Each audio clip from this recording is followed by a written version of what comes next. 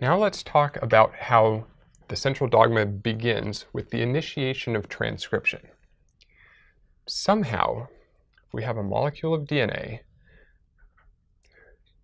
protein machinery in the cell, ultimately RNA polymerase, is going to have to figure out where are the genes in this molecule of DNA.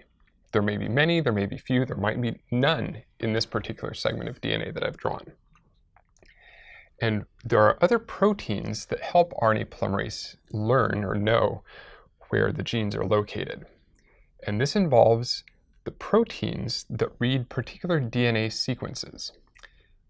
In prokaryotes, there are particular sequences that are 35 nucleotides and 10 nucleotides upstream of where transcription begins.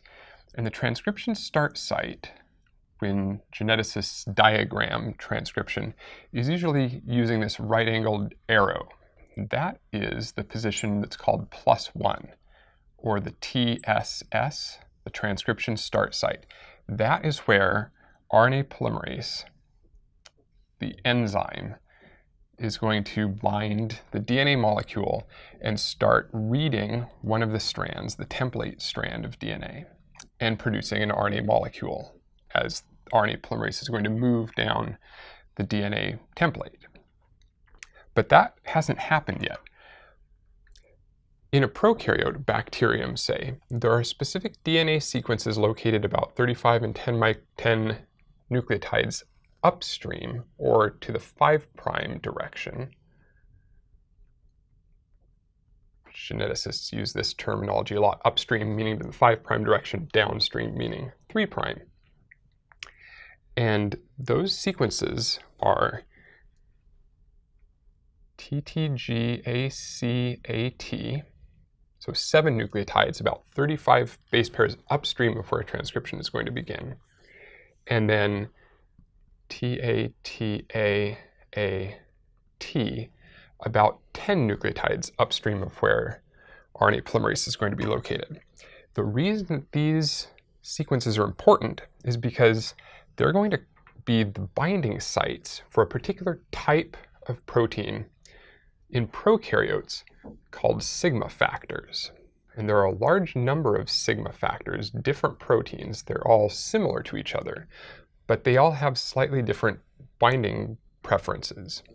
And the sigma factor we're going to talk about today is called sigma 70. And it's a protein that has part of its amino acid structure recognizes those two motifs or consensus sequences, these DNA sequences. It binds to those and recognize them. And what sigma factor does, it's the first molecule to bind at the initiation of transcription. When a bacterium wants to transcribe a gene that's located here, starting at plus one, the sigma factor will bind first. The second thing that happens then is that RNA polymerase is recruited. And what that means is this sigma factor has another part of its surface here that physically associates with, is attracted to, part of RNA polymerase. And so the first binding event, the sigma factor binds the DNA. The second thing that happens is that sigma factor pulls in or recruits, we call it, RNA polymerase. And sigma factor holds RNA polymerase right there where it's supposed to start transcribing a gene. I want everybody to realize that these DNA sequences, like the minus 10 sequence, TATAAT, are a type of sequence that it's sort of a generic or an average sequence called a consensus sequence. And what that means is the way that geneticists figured out which DNA sequences a sigma factor binds to is they would take parts of DNA molecules that these proteins bind and they would look at their sequences. So for example, one sigma factor might bind this sequence. And a second sigma factor might bind that sequence.